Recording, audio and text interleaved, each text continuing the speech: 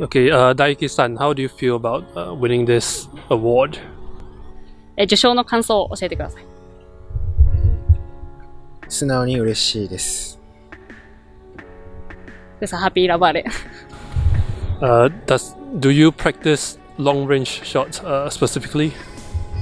えっと、今回のゴール、えーロングシュートでしたけども、普段から意識してトレーニングしているシュートですかそうですね。トレーニング後に自主練でやってます。